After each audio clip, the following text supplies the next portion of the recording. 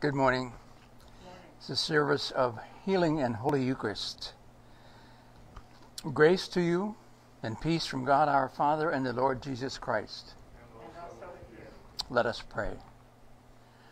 O God of peace, you have taught us that in returning and rest we shall be saved. In quietness and confidence shall be our strength. By the might of your Spirit, lift us, we pray, to your presence well, we may be still and know that you are God through Jesus Christ our Lord, who with you and the Holy Spirit lives and reigns, one God, forever and ever. Amen. Come, Holy Spirit, come. Spirit, come, fill us to overflowing. Spirit, show us your power.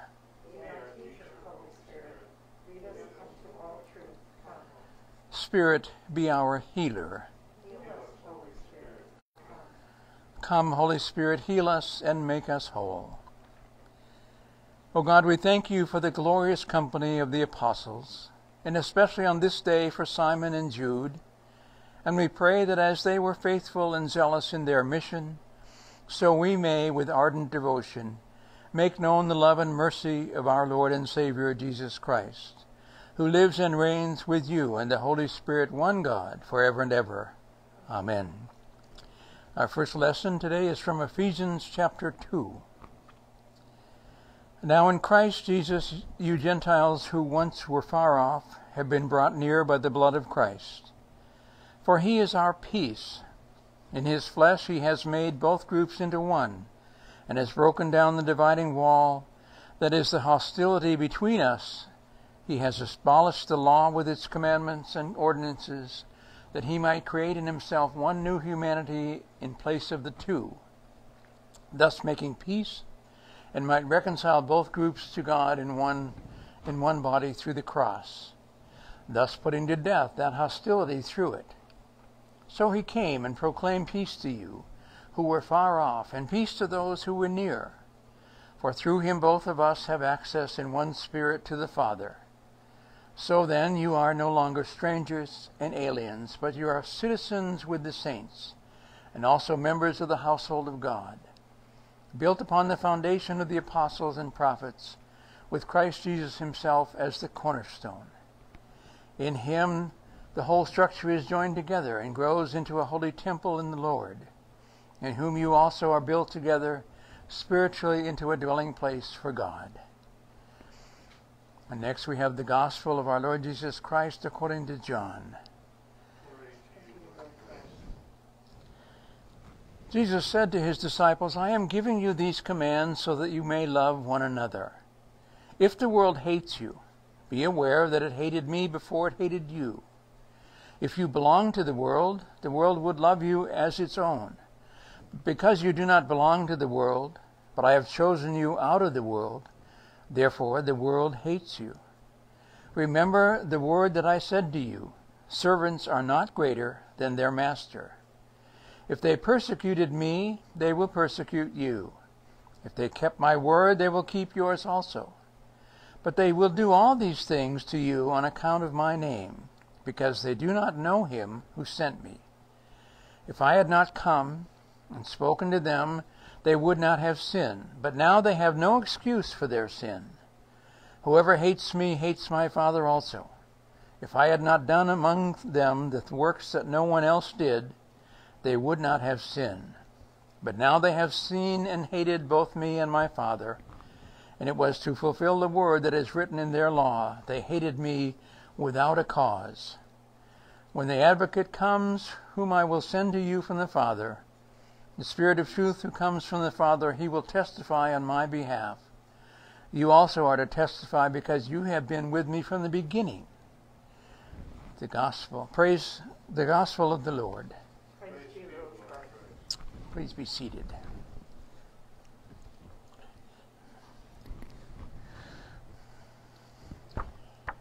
I wrote a few notes to share with you this morning. Um, having not done this service for quite some time, um, and um, didn't want to do like a big long sermon, but give you some ideas about some reflections I had having to do with these readings, and also kind of in a way, continuing some of what I had to say Sunday, some people who spend a lot of time studying the Old Testament, the Hebrew Scriptures, are often thought to be more concerned with the law of God and not necessarily concerned with the Word of God. Some holy, some Hebrew Scripture scholars were asked which book to them was the most important, and the answer that they gave surprised some people because as they talked among themselves, they decided that the book that made the most importance to them in the Old Testament, the Hebrew Scriptures, was the book of Leviticus. And some of the folks that asked the question said, There you go, you're concerned about the law.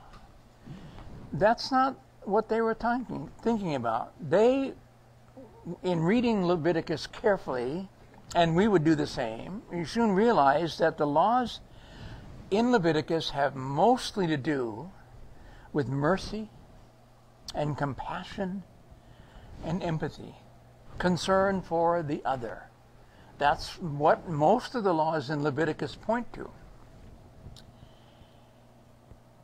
The stranger, the widow, the orphan, the poor, the slaves. And it is in Leviticus, in fact, that we first read that you shall love your neighbor as yourself one of the things that I talk about and have talked about my whole career as a priest. The command for empathy, the command for us to not only care for God, but to care for one another. And then, as I said to you in the past, I have said it, Jesus made it even harder in that regard because he said, You've got to do that the way I did.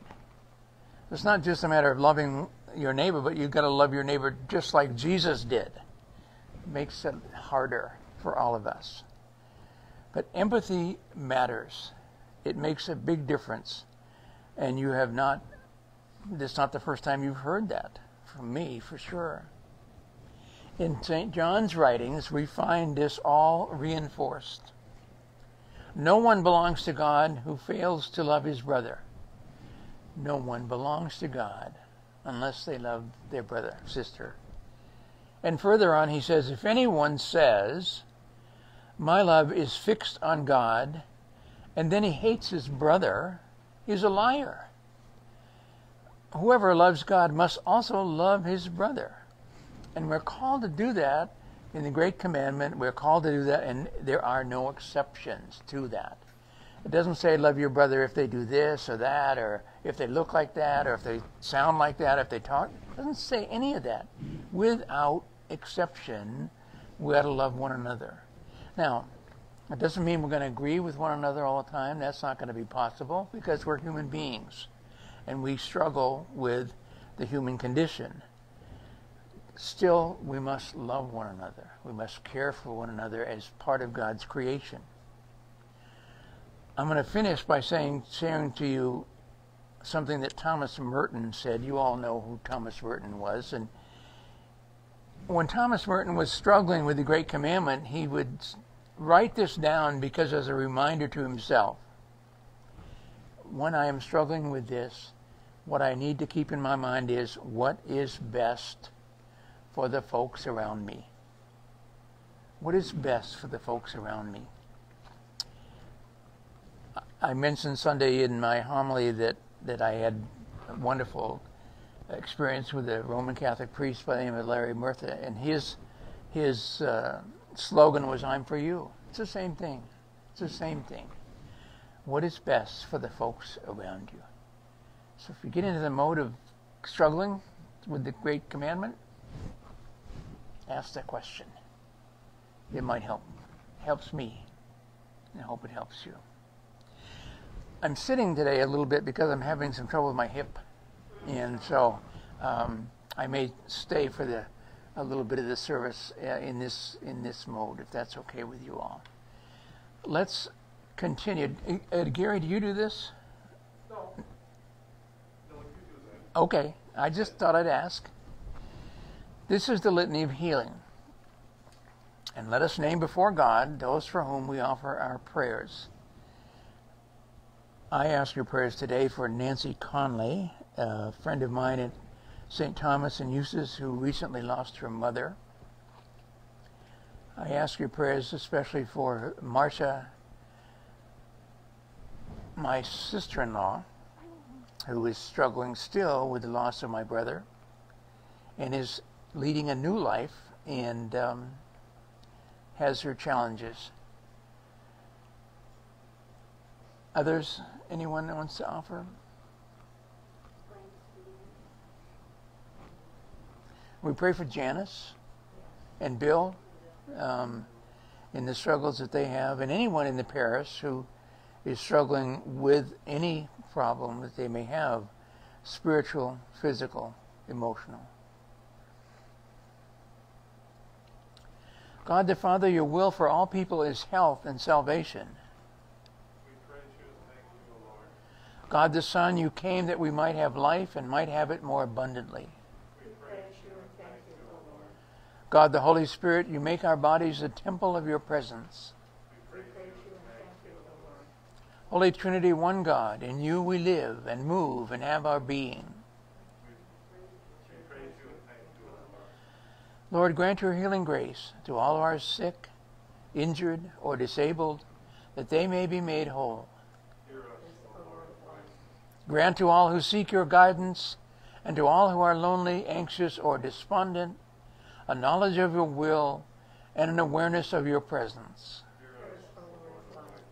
Mend broken relationships and restore those in emotional distress to soundness of mind and serenity of spirit. Bless physicians, nurses, and all others who minister to the suffering, granting them wisdom and skill, sympathy and patience. Grant to the dying peace and a holy death, and uphold by the grace and consolation of your Holy Spirit those who are bereaved. Restore to wholeness whatever is broken by human sin in our lives, in our parish, in our community, in our nation, and in the world. You are the Lord who does wonders. With you, O Lord, is the well of life. and in your light we see life. Hear us, O Lord of life.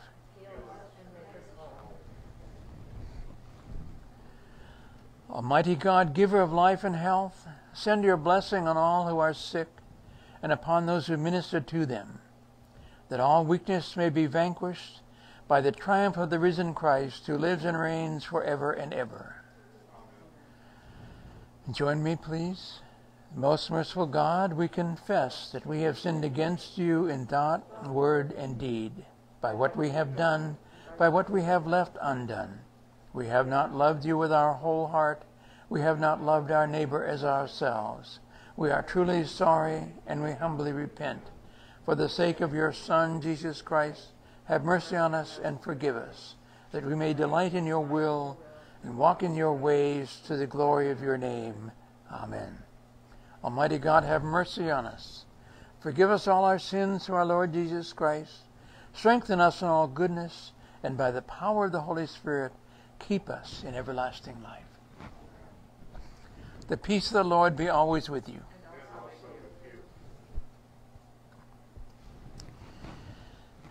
Peace to you all, and it's really good to see you and be with you today. Um, I miss being able to touch one another.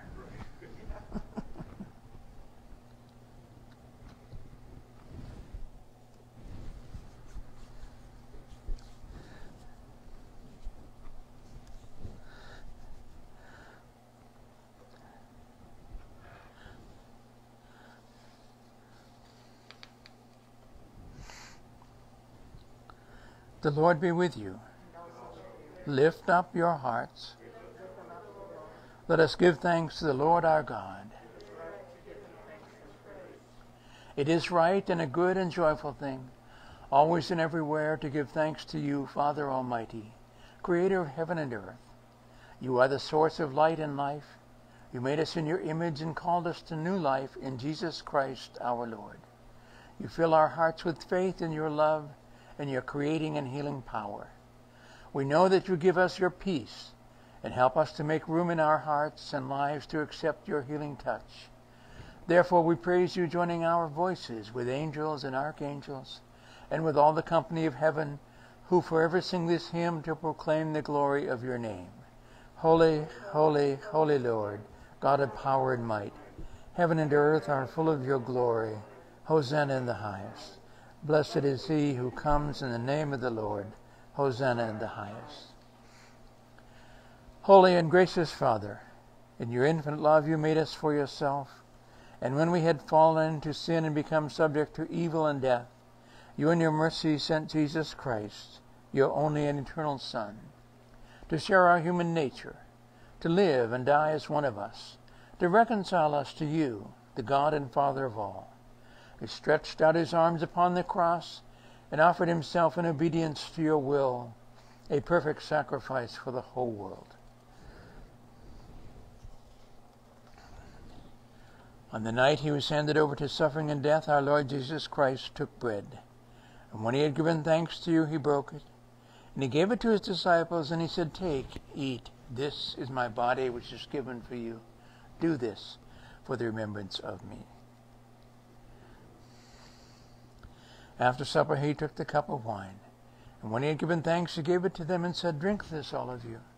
This is my blood of the new covenant, which is shed for you and for many for the forgiveness of sins. Whenever you drink it, do this for the remembrance of me. Therefore, we proclaim the mystery of faith. Christ has died, Christ is risen, Christ will come again. We celebrate the memorial of our redemption, O Father, in this sacrifice of praise and thanksgiving. Recalling his death, resurrection, and ascension, we offer you these gifts.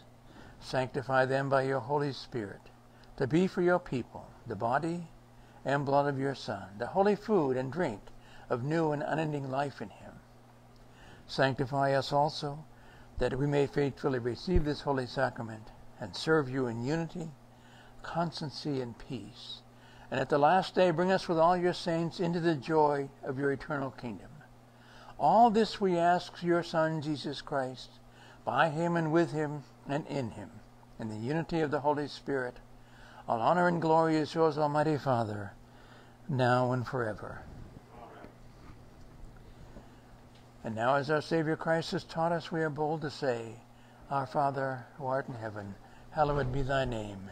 Thy kingdom come, thy will be done, on earth as it is in heaven. Give us this day our daily bread, and forgive us our trespasses, as we forgive those who trespass against us. And lead us not into temptation, but deliver us from evil. For thine is the kingdom, and the power, and the glory, forever and ever. Amen.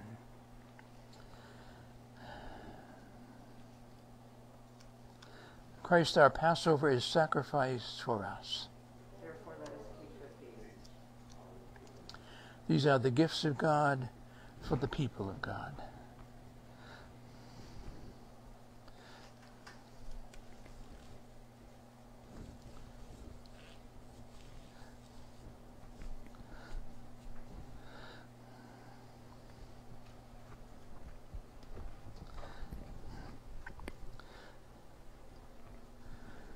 The Christ, the bit of heaven.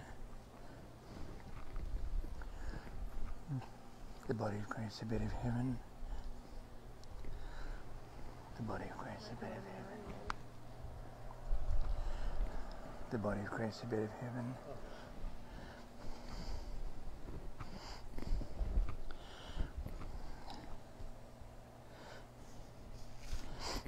The body of Christ, the bit of heaven.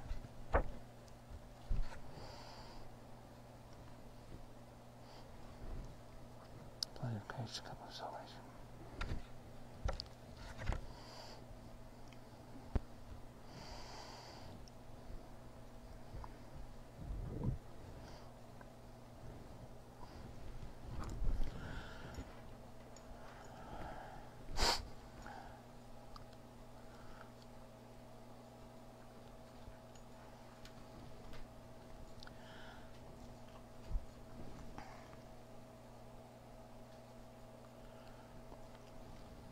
We say together this prayer on page 8 in the bulletin.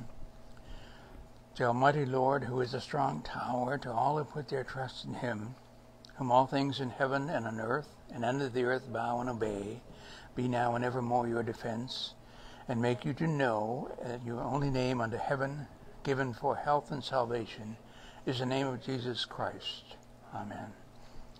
Almighty and eternal God, so draw our hearts to you, so guide our minds, so fill our imaginations, so control our wills, that we may be wholly yours, utterly dedicated to you, and then use us, we pray, as you will, and always to your glory and the welfare of your people, to our Lord and Savior Jesus Christ. May God the Father bless you, God the Son heal you, God the Holy Spirit give you strength. May God the Holy and Undivided Trinity guard your body, save your soul, and bring you safely to his heavenly country, where he lives and reigns forever and ever.